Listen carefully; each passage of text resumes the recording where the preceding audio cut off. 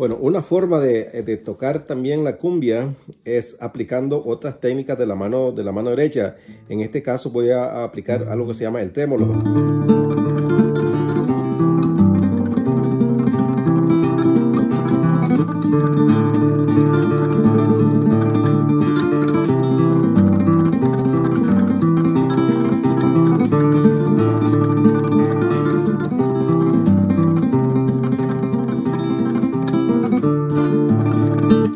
¿Cómo se hace? Bueno, entonces se hace con el pulgar primero,